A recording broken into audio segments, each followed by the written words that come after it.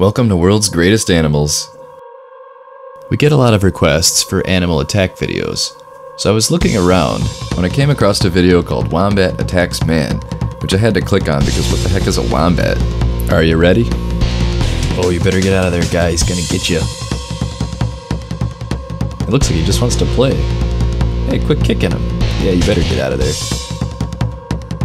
Well, on that note, we also have Puppy Mauls Woman's Face. Oh, it's terrible. And then the sloth is. Eh, forget it. Let's get back to the wombats. That's a great face.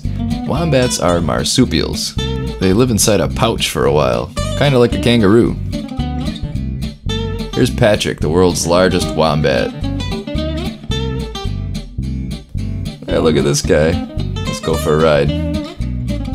Wombats are the largest burrowing mammal, and they live in southeast Australia, also Tasmania, and some other places.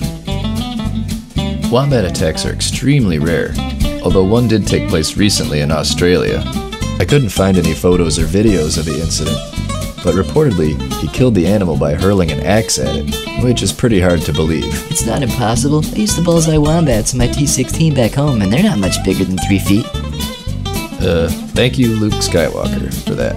So, in conclusion, wombats are awesome, and I'm putting them at the top of the list of animals I'd like to see in real life, just behind the Tasmanian devil.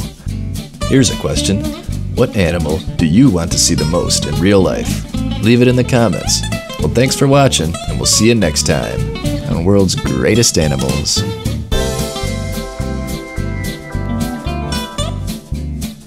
Wombat.